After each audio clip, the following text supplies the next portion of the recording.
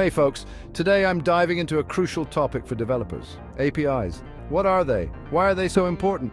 And how can you master them? Stick around and let's break it all down. First off, what exactly is an API? API stands for Application Programming Interface.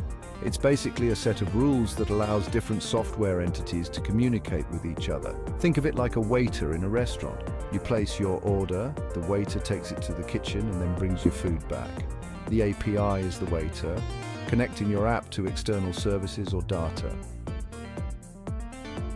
Now, where are APIs used? Practically everywhere. Social media platforms, weather apps, payment gateways, you name it.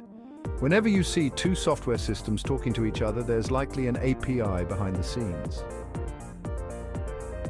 So why are APIs so important? For one, they allow for modularity. You can build different parts of an app separately and connect them through APIs. Also, they promote scalability. Need to add new features or services? Just plug in a new API. They also make it easier to integrate third-party services, saving you tons of development time. All right, let's get into the skills you need to master APIs. Here's a roadmap for you. 1. Learn what APIs are and how they work. Get comfortable with HTTP requests and responses. 2. REST is the most common architectural style for APIs. Familiarize yourself with CRUD operations. Create, read, update, delete one. These are the two primary data formats used in APIs. JSON is more popular these days, but knowing both is beneficial. 4. Security is crucial. Understand how to use API keys, OAuth and JWT for secure communications. 1. Platforms like GitHub, Twitter and Google provide public APIs. Use them to get hands-on experience. 1. Use frameworks like Express for Node.js Flask for Python or Spring Boot for Java. 7.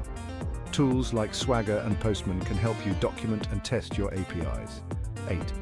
Always plan for what happens when something goes wrong. Implement proper error handling and logging. As you proceed along this roadmap, remember to stay curious and keep experimenting. The API landscape is always evolving and staying updated is key. And there you have it, a complete guide to mastering APIs. If you found this video helpful, don't forget to like, comment and subscribe for more tech content. Happy coding!